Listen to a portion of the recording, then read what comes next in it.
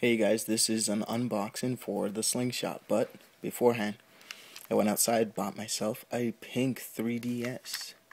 As you can see, it doesn't have its original back. If you buy them used, you never find the original back because people like me break them. And I'm saying people like me is because my original one, I broke off the back. So, yeah. Got this when it first came out. I was so surprised. It was on my birthday, whatever. But now, I got the pink one so that I have he has a girlfriend. See? Whatever. so, basically, I got this one. This is my original one, and that's the one I just bought.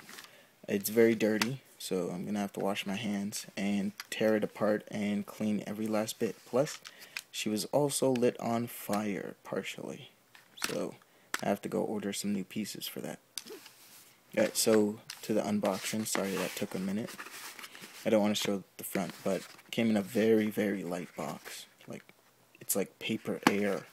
Like, I was like, is this really it? It's so light.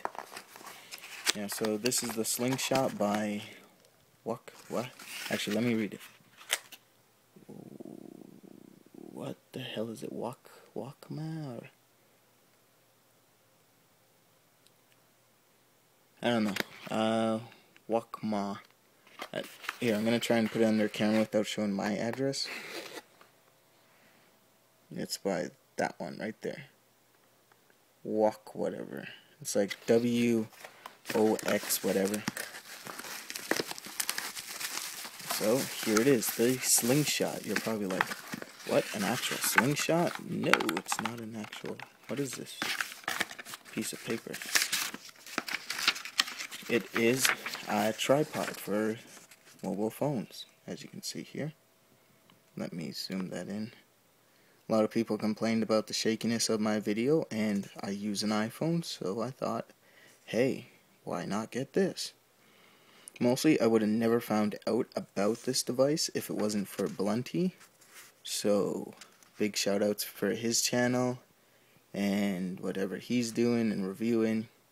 He's a photographer, you know, good stuff. So here's the slingshot. It cost me a whole lot because I'm in Canada, so I paid like almost $40. I know, $40 for a piece of plastic. Oh, and it is made in China. I didn't know that. Hmm. Feels okay. It has an adjustable ball. It's kind of stiff right now. Oh yeah, so this part can come off for a mount.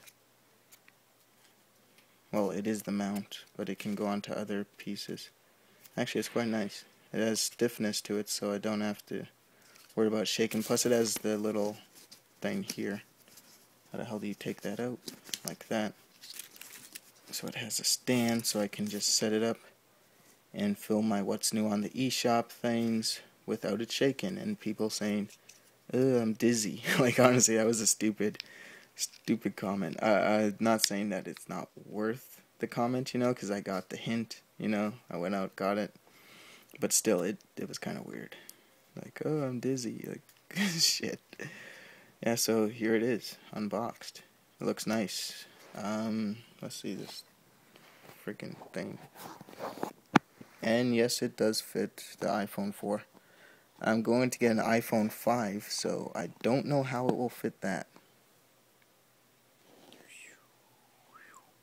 Yeah, so, yeah, later you guys. That's really it.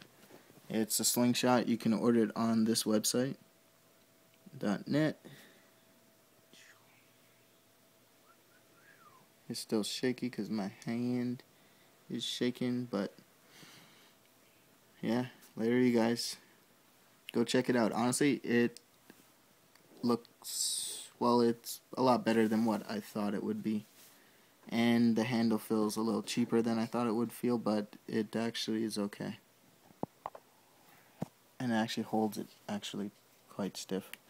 Uh, I'm gonna put a, a link to uh, Blunty's review so you can get a better review than my review because my review is total bollocks or whatever. Alright, later you guys.